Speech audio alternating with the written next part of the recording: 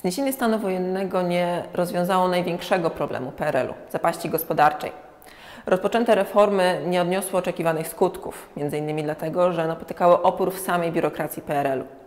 Znakiem tego czasu są tzw. Tak firmy polonijne, nazywane tak, ponieważ miały możliwość operowania na obcym kapitale, bardzo często na kapitale Polaków mieszkających za granicą.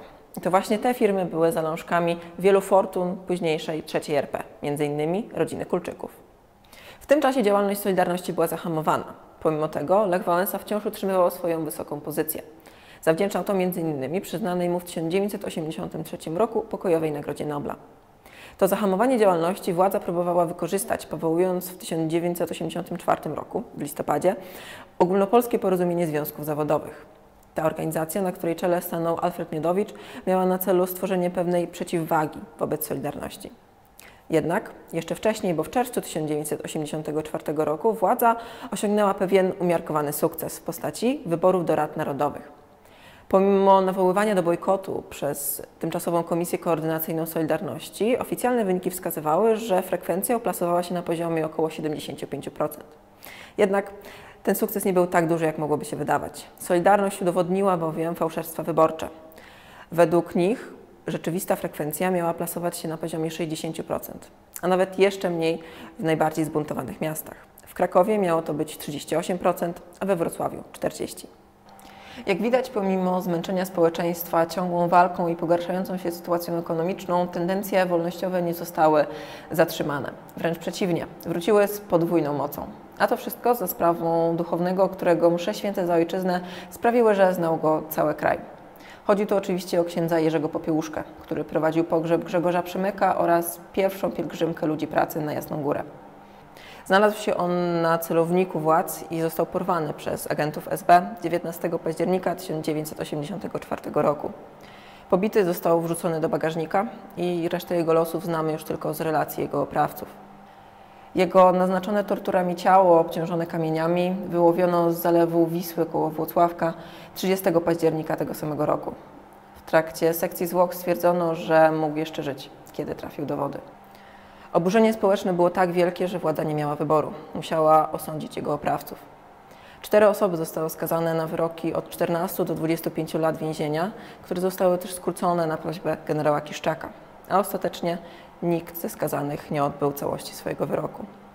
Nastąpiło jednak pewne rozluźnienie w relacjach Kościół katolicki-państwo. Zliberalizowano zasady posługi duszpasterskiej oraz pozwolono na kolejną pielgrzymkę Jana Pawła II do Polski. Do końca istnienia PRL-u Kościół konsekwentnie przedstawiał koncyliacyjne stanowisko. Próbował nie dopuścić do eskalacji konfliktu i rozlewu krwi. Wspomniana wcześniej zapaść gospodarcza była największym powracającym problemem władz komunistycznych PRL. I to właśnie w niej należy doszukiwać się powodów przełomu roku 1988. Nie wprowadzono radykalnych reform gospodarczych, a sytuację dodatkowo pogarszały jeszcze sankcje Zachodu.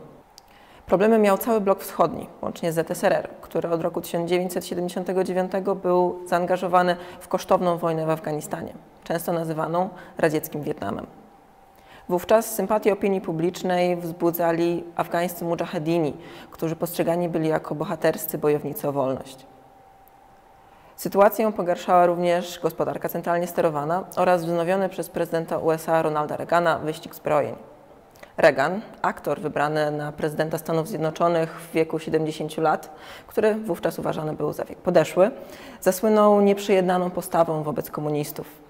Używając retoryki znanej nam z filmów Gwiezdne Wojny, nazywał ZSRR Imperium Zła, a z kolei obrona przeciwrakietowa Stanów Zjednoczonych nazywana była właśnie Gwiezdne Wojny. Wróćmy jednak do Polski, gdzie władza próbowała odzyskać zaufanie społeczeństwa, organizując drugie w powojennej historii Polski referendum. To miało dotyczyć kwestii reform gospodarczych. Jednak okazało się całkowitą klęską ze względu na złe przygotowanie po stronie władzy. Zdecydowano się więc na rozmowy i negocjacje z opozycją. Ogłoszono amnestię dla więźniów politycznych i tolerowano jawne działanie Rady Tymczasowej NSZZ Solidarność. Sytuacja ekonomiczna jednak pogarszała się z dnia na dzień. W kwietniu 1988 roku przez cały kraj przelała się fala strajków których początkowe postulaty płacowe szybko zamieniły się w postulaty ponownej legalizacji Solidarności. Rozpoczęto więc negocjacje na linii Wałęsa-Kiszczak, które odbywały się w podwarszawskiej Magdalence. W tym samym czasie zdecydowano się również na zmiany personalne w rządzie. Premierem został Mieczysław Rakowski, pragmatyk, który był krytykowany w Moskwie za odejście od ortodoksji. W jego rządzie znalazło się wiele młodych i ambitnych działaczy, m.in. przyszły prezydent Aleksander Kwaśniewski. Po stronie opozycji szykowano się do negocjacji. Lech Wałęsa powołał Komitet Obywatelski przy przewodniczącym Solidarności, który miał być zapleczem intelektualnym przygotowywującego się do przyjęcia władzy w kraju Wałęsy.